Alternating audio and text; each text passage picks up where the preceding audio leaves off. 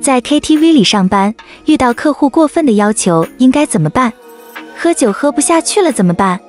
上班为什么要穿短裙吊带？上班的时候为什么要起个假名字？别人问他叫什么，他一般都说自己叫王娟，偶尔也说自己叫张娟、王娜或者李丽。但是了解他的人都知道，他根本就不叫王娟，他甚至都不姓王。王娟只是他出来打工用的名字，给自己起名王娟也仅仅是因为这个名字叫的人多，用着不显眼，不会引人注意，听着不像是骗人罢了。很多小姐姐出来打工都会给自己起一个名字，为的就是能免去一些不必要的麻烦，这也可以说是一种打工文化吧。初中还没毕业，王娟就辍学了。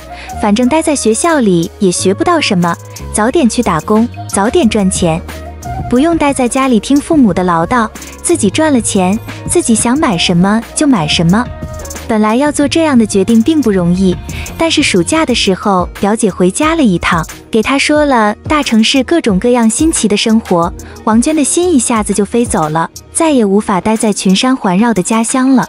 王娟试探着给母亲说了一下，说自己不想上学了，想和表姐一起去打工。本来心里还有些忐忑，但是没想到的是，母亲和父亲商量了几句就答应了，而且对自己的态度一下子也好了很多。后来才知道，表姐过年回家给舅舅舅妈买的衣服和金首饰，母亲自打见了就一直念念不忘。本来还想着等王娟初中毕业了再去，但是现在孩子自己提出来了，就顺水推舟答应了。反正初中毕业也得去打工。至于学校的老师和同学，王娟没有一丝一毫的留恋。在学校本来也没几个朋友，在班里王娟也一直像个透明人一样。王娟辍学后的第二年，甚至还有同学不知道班里有个叫王娟的女生辍学了。从村子里坐上面包车，一路开往县城。母亲临走前的唠叨仿佛还在耳边，但是对新世界的期盼早就占据了王娟全部的心思。嘴角翘起的微笑，让每一个看到她的人都仿佛沐浴在温暖的春风里。从县城的汽车站乘坐大巴先到省城，然后坐火车一路南下。从离开县城起，就是真正的离开家乡了。车轮滚滚前行。整个世界好像迷雾中的巨人，一点一点展露出了本来的面貌。那些他原来没见过、没听说过的地方，一个一个被甩在了身后。奔跑了一日一夜的火车终于到站了，王娟浑然感觉不到累，背着包，拖着行李，紧紧地跟着表姐，在急匆匆的人流中穿行，走出火车站，然后换地铁、公交。终于赶在晚饭之前到了表姐租住的房子，房子里只有一个双人床，几个简单的柜子和电风扇，此外便一无所有。放下行李，表姐便带着王娟出门去小巷子里吃饭。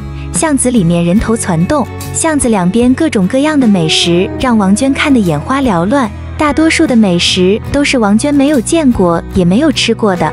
如果世界上有天堂，那么这里应该就是天堂。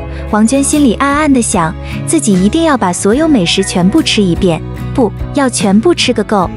第二天早上，表姐就把王娟带到自己上班的地方，给店长说了下是自己的表妹，知道店里缺人，所以就带来了。店长看着也比表姐大不了多少。说了底薪和提成，排班让王娟和表姐一个班，慢慢熟悉学习。新人自然要多学多问多干活。店里的衣服，王娟一遍一遍地学着摆放和打包，擦玻璃、打扫卫生也都不停地干着。偶尔店里搞活动，还要穿着布偶娃娃的衣服站在店门口吆喝。新鲜的日子，忙碌又快乐。慢慢的，店里的活王娟都熟悉了。这期间，除了第一次刚来的时候，父母打电话问了平安。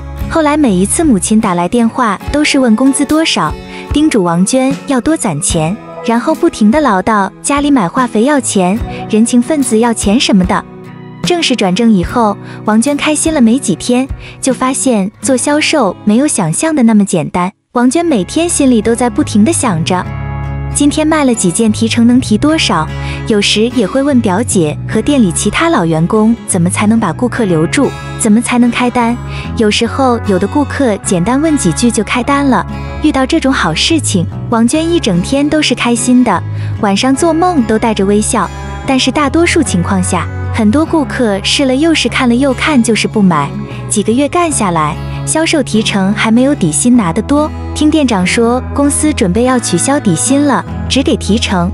不过提成要比以前给的多。店里几个销冠都在开心的议论着，按照现在的销量，以后每月的收入至少能多大几千。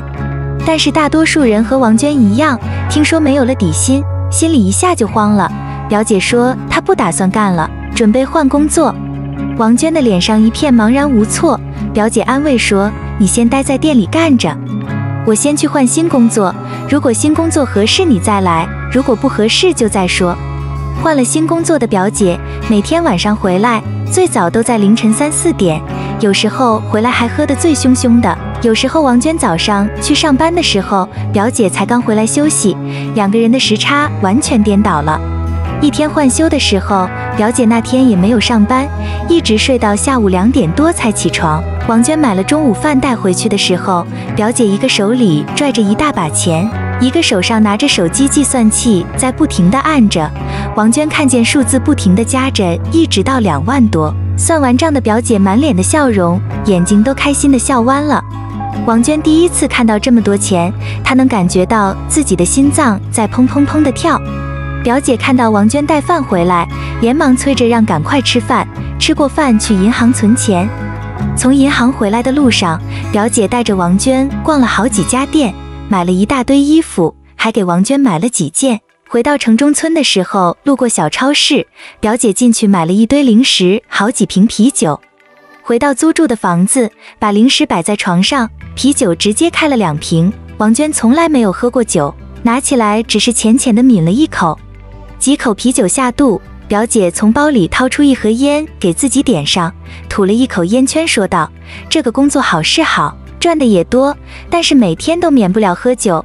你要是不能喝酒，就没法干这个工作。”表姐一边抽着烟，一边说着：“每天至少得喝三瓶酒，要不然就真的没法干。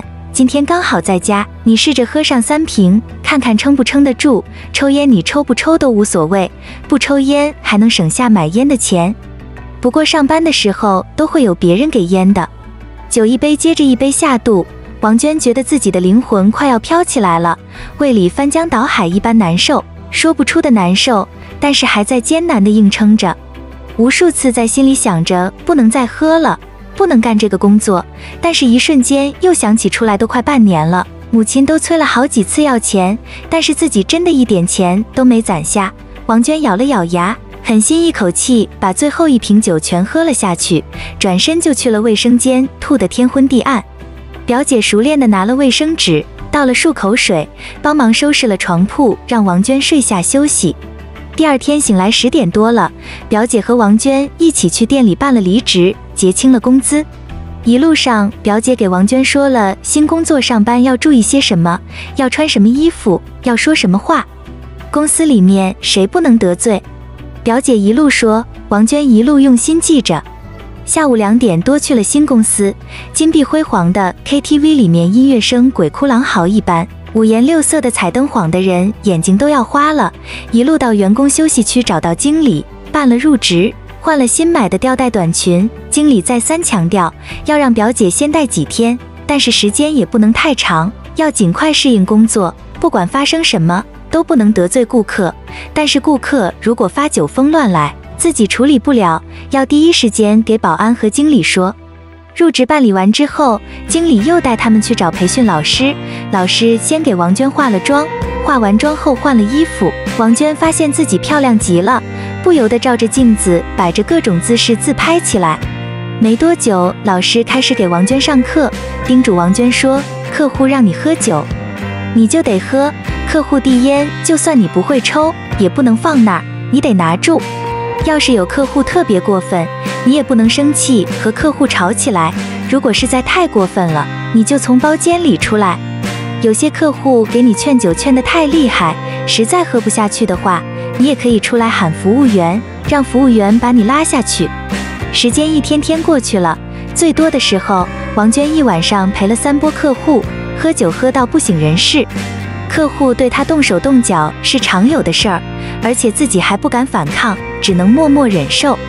但是不管受了多少委屈，一个人悄悄躲在卫生间哭了多少次，毕竟都撑过去了。只要撑过去了，苦难就会变成甜蜜，就会变成红彤彤的钱，就会变成银行卡里的不断增加的数字。私下里，王娟总是喜欢和表姐一起畅想攒够钱的生活。表姐说她要开自己的店，或者开个超市，或者开个美容店，反正一定要当老板，当人上人。人总得有希望，有希望，有盼头，就有幸福的未来。眼下生活的苦涩也会变得不再那么难受。